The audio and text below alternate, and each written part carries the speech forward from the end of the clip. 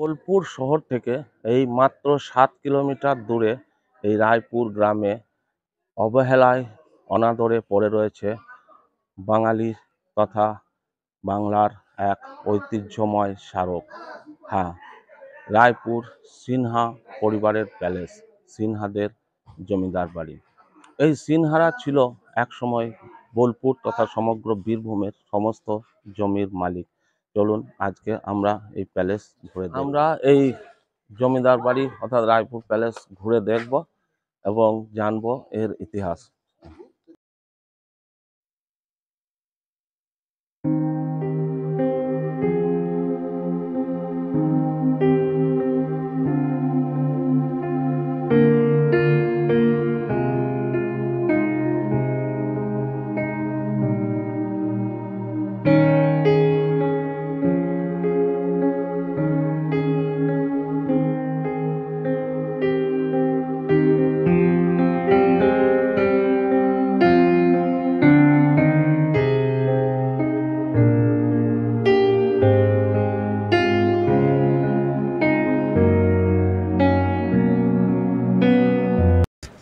এই বাড়িটিতে বেশ কয়েকটি বাংলা সিনেমার শুটিং হয়েছে। তার মধ্যে এই যুগের যেমন ভূতের ভবিষ্যৎ, যেখানে ভূতের ভয়, এই সিনেমাগুলির শুটিং হয়েছে এবং দেবের অভিনীত চাঁদের পাহাড়ের সামান্য একটু অংশের শুটিংও এই বাড়িটিতে হয়েছে। এবং যারা পুরোনো দিনের সিনেমা দেখেন বা যারা একটু বয়স্ক, উনিশশো একানব্বই সালের রঞ্জিত মল্লিক অভিনীত যে নবাব সিনেমাটির বেশিরভাগ শুটিংটাই এই বাড়িতে হয়েছে। এখানে একটি সুরঙ্গ পথ দেখতে পাওয়া যায়। কথিত আছে, এই বাড়ি থেকে এই সুরঙ্গ পথের মাধ্যমে বিভিন্ন দিকে যাওয়া যেত।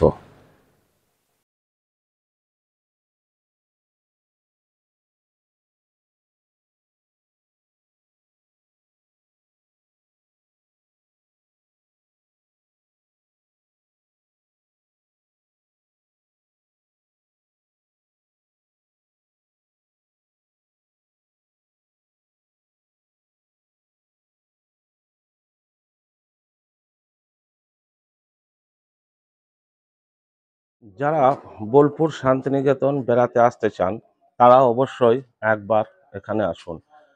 এখান থেকেই এই শান্তিনিকেতন নামের বীজটা বপন করা হয়েছিল। আঠারোশো তেষট্টি সালে জমিদার ভুবনমোহন সিনহার কাছ থেকে কুড়ি বিঘা জমি কিনে বোলপুরে শান্তিনিকেতন নামক আশ্রম তৈরি করেছিলেন মহর্ষি দেবেন্দ্রনাথ ঠাকুর। পরবর্তীকালেই সেটা রবি ঠাকুরের হাতে এই বিশ্বভারতী হিসাবে গড়ে ওঠে। তাই আমরা চাই শান্তিনিকেতন যারা ভ্রমণ করতে আসবেন আগামী দিনে, তারা অবশ্যই তাদের তালিকায় এই রায়পুর জমিদার বাড়িটা রাখুন। এই বাড়িতে তখন নিয়মিত যাতায়াত ছিল মহর্ষি দেবেন্দ্রনাথ ঠাকুরের। তখন এই বাড়ির জমিদার ছিলেন ভুবনমোহন সিনহা এবং তার সঙ্গে খুব ভালো বন্ধুত্ব ছিল মহর্ষির। মহর্ষি একদিন পালকি করে আসার পথে শান্তিনিকেতনের এখন যেটা ছাতিমতলা, সেই জায়গায় বাহকেরা যখন বিশ্রাম নেওয়ার জন্য দাঁড়ালেন, ওই জায়গাটি মহর্ষির খুব পছন্দ হলো। তখন এই জমিদার বাড়িতে এসে বিশ্রাম পর্ব সাঙ্গ করে জমিদার মশাইকে মহর্ষি ওই জায়গাটির কথা বলতেই তিনি সমগ্র ওই এলাকাটি মহর্ষিকে দান করতে চাইলেন। কিন্তু জোড়াসাঁকোর ঠাকুর বাড়ির রক্ত তিনি তো দান গ্রহণ করবেন না। তাই বাৎসরিক পাঁচ টাকার বিনিময়ে কুড়ি বিঘা জমি লিজে গ্রহণ করে ওখানে তিনি তার আশ্রম স্থাপন করলেন শান্তিনিকেতন, যা কবিগুরুর হাত ধরে পরবর্তীকালে বিশ্বভারতী রূপে সমগ্র বিশ্বে তার খ্যাতি ছড়িয়ে পড়ল? এই জমিদার ভুবনমোহন সিনহার নাম থেকেই শান্তিনিকেতন সংলগ্ন এলাকাটির নাম হয়ে ওঠে ভুবনডাঙ্গা। রায়পুর গ্রামের এই ভগ্নপ্রায় জমিদার বাড়ি আজও ইতিহাসের নানা সাক্ষ্য বহন করে চলেছে। ব্রিটিশ শাসিত বাংলায় যতগুলি পরিবার খ্যাতি অর্জন করেছিল, তার মধ্যে অন্যতম এই জমিদার পরিবার। সতেরোশো চৌষট্টি সালে মেদিনীপুরের চন্দ্রকোনা হতে সিংহ পরিবারের আদি পুরুষ লালচাঁদ সিংহ, অজয় নদীর তীরে এই রায়পুর গ্রামে আসেন এবং অধুনা মা মঙ্গলচণ্ডী বাড়ির নিকট বসতি স্থাপন করেন। সতেরোশো সত্তর সালে রায়পুরের চৌধুরীদের নিকট হতে জমিদারি ক্রয় করে লালচাঁদ স্থানীয় জমিদার রূপে পরিগণিত হয়। সতেরোশো তিয়াত্তর সালে লালচাঁদ ষাট বিঘা জমির উপর তিন ছেলের জন্য তিনটি মহল্লা বাড়ি নির্মাণ করেন। এই বাড়িটিতে মোট একশো কুড়িটি ঘর ছিল।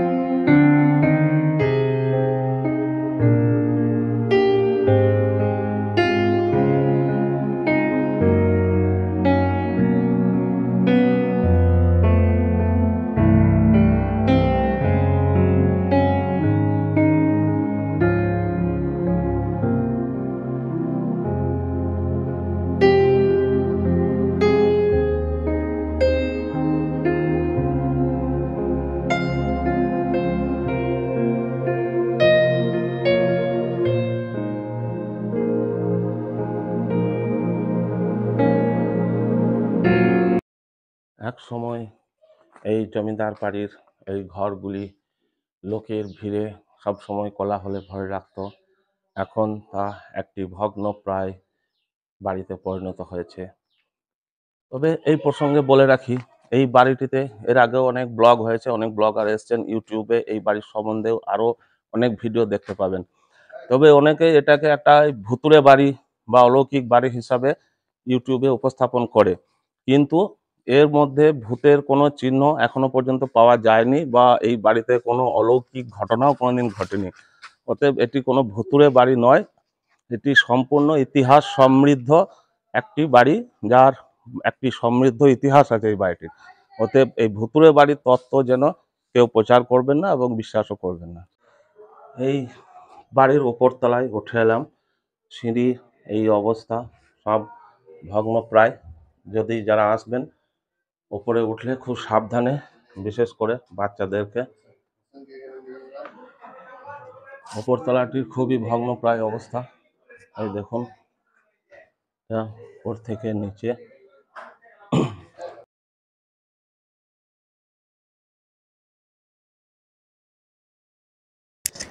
সরু সিঁড়ি বেয়ে দোতলায় উঠে এলাম। উঠেই দেখি সব ভেঙে ভেঙে পড়ছে। কার্নিস বিম ইট সব পড়ে যাচ্ছে এবং কিছু কাঠের যে বিমগুলি সেগুলো তো মনে হয় কে বা কারা খুলে নিয়ে যেন বিক্রি করে দিয়েছে।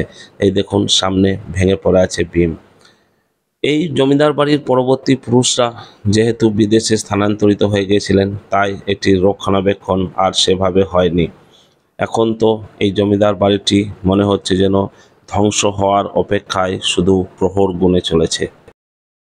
এই জমিদার বাড়িতে যারা ব্লগ করতে আসবেন, তারা অবশ্যই এই রায়পুর যুব সংঘ যে ক্লাব, তাদের কাছ থেকে বীরভূমের গৌরব লর্ড সত্যেন্দ্র প্রসন্ন সিনহা সবার কাছে, যিনি এসপি সিনহা নামে পরিচিত ছিলেন, আঠারোশো তেষট্টি সালের চব্বিশে মার্চ এই বাড়িতেই জন্মগ্রহণ করেছিলেন।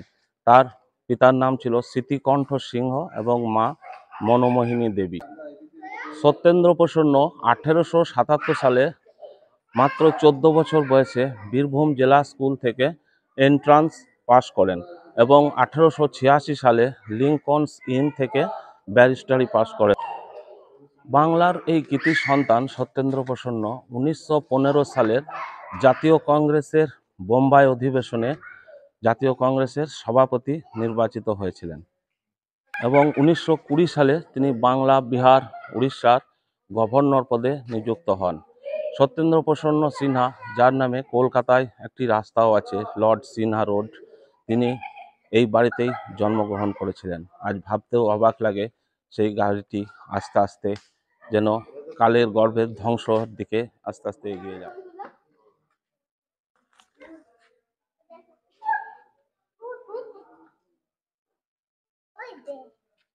এখান থেকে, এখানে